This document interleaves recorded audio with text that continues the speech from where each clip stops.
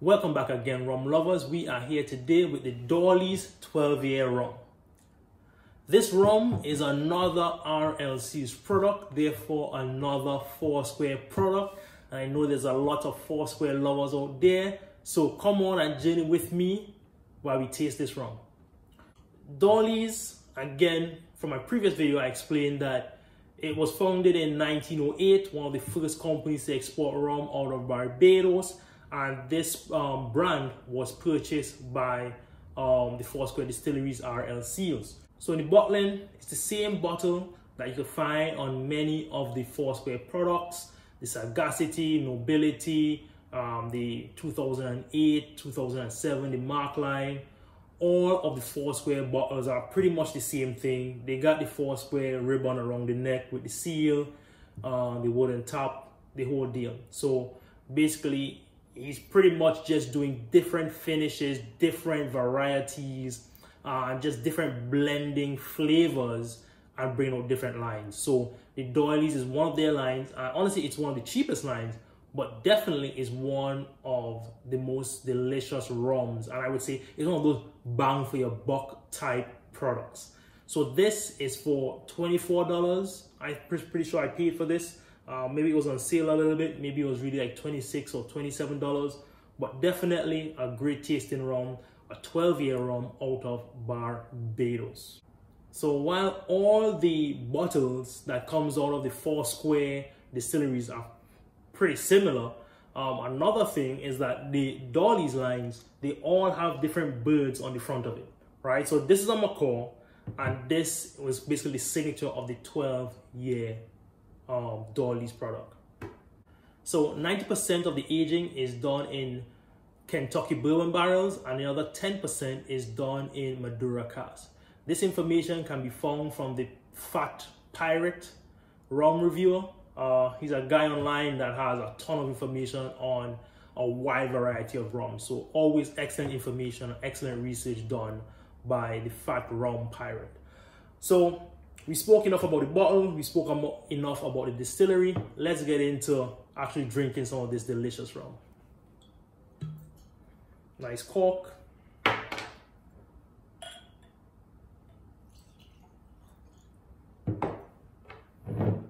So, this rum, honestly, quite similar to the XO in color. Um, so we're gonna look now to see how long it takes to develop legs. Now this is a true 12 year rum, not a Solera blend, which the oldest is 12. This actually the youngest in the rum is 12, and it is taking some time to develop some legs. So again, anytime you're looking at aged spirits, you wanna know the truth, start your stop clock and see how long it takes to develop legs. All right, so we now got some legs developing on this. Just says it's a nice rich rum, pretty defined legs coming down on the sides beautiful. It reached the bottom already. So it's a decent rum. Nothing too thick, nothing too rich about it. But expected at least of a 12 year rum to get some nice legs on it. So we got some nice fine legs. Let's nose. So on the nose, you got that um, deep woody, got some sweet. Mm. It's pretty, uh, I would say like chocolate or toffee. You know, that nice deep flavors I'm getting out of it. Hmm. It honestly slightly reminds me of El Dorado or not El Dorado. I'm thinking it's more, it gives me a similar nose to that of the rare blend on Appleton line. Uh, I did also review that video, so you could click on the link above to view that other review of the Appleton Rare Blend. Mm. Really nice nose, really unique nose. Now let's taste.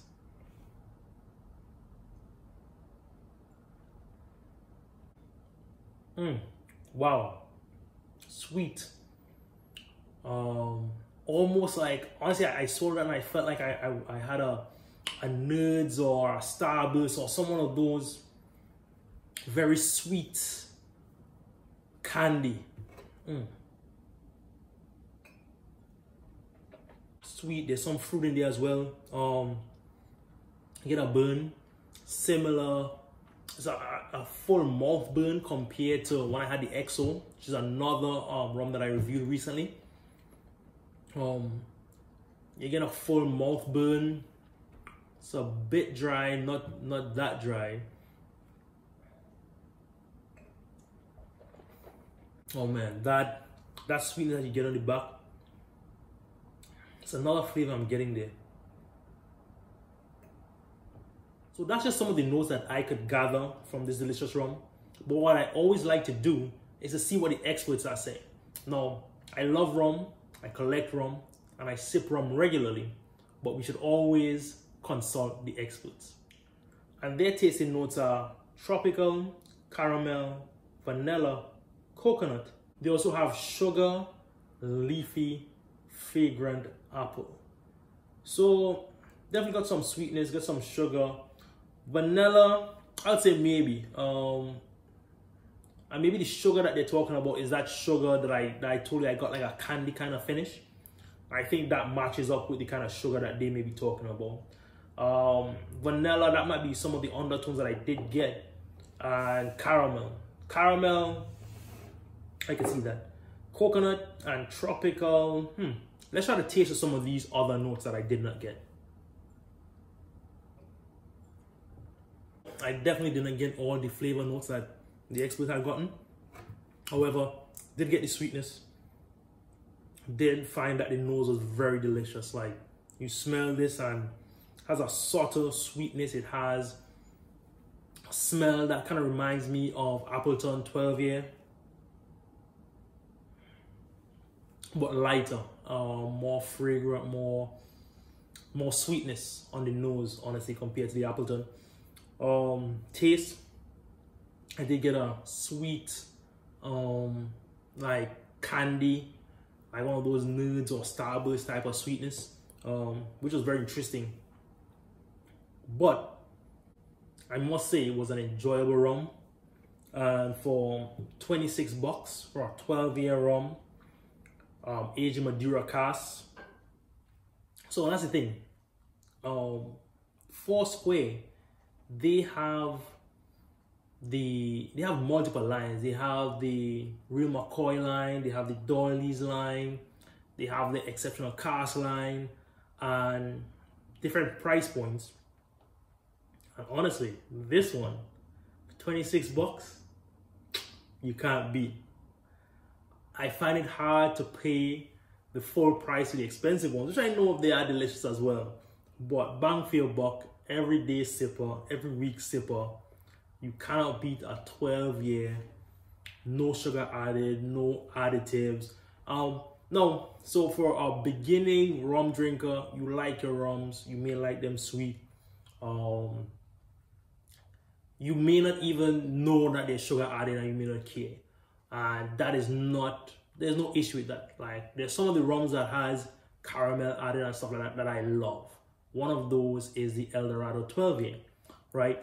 But when you get into the world of rum and you meet the expert tasters and, and, and stuff like that they always kind of you know especially the foursquare fans they love the no added sugar rums so that's one of the things about foursquare it's no added sugar and you know, if you're looking at your weight or anything, Foursquare is the diet rum for you, right?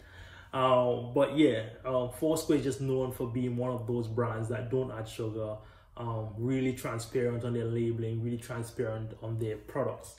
And this is just another one of them. And to me, it's a very delicious rum. So this rum is almost finished. And the reason why it is so low is because I did carry it to a work happy hour and most of this i would say 90% of what's gone is from the office. So it is honestly easy for a lot of people to drink. It isn't one of those rums that is too dry too jarring uh, that they you know that only an experienced whiskey drinker or something uh, would enjoy. It is a pretty easy drinker and it's enjoyed by many. So to wrap it up, is this a good buy? Yes. 26 bucks, 12 year rum from Barbados. You can't beat it. Is it delicious? Yes. I have a little bit here to finish. Does it stack up against many of the other rums up there? I would say it does. Um, definitely, this is something that any bourbon drinker, uh, whiskey drinker, someone who likes drinks neat, someone who likes, you know, uh, a Macallan or something like that. If you don't want to afford a Macallan today, buy a Doorly's. You're going to enjoy it. I definitely liked and enjoyed this drink. Um, definitely enjoy the price of this drink and definitely enjoy sipping on this drink and explaining to you all the tasting notes and a little bit of the history behind this product. So if you enjoyed this and you would enjoy many more of my other videos on the channel, please hit like and subscribe. I deliver new videos every week. Uh, I always try to uh, to respond to whatever comments you may have, any questions you may have. So if you have any questions on the Doorly's, uh, if you have any questions on any other ROMs, if you want to suggest ROMs that I should review, um, drop a comment below. Drop a comment below and I'll respond to you and I'll probably go out and buy. Now, I have a lot more ROMs reviewed in the back of me, but I always like suggestions.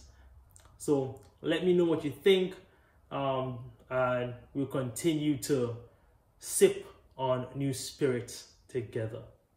Cheers.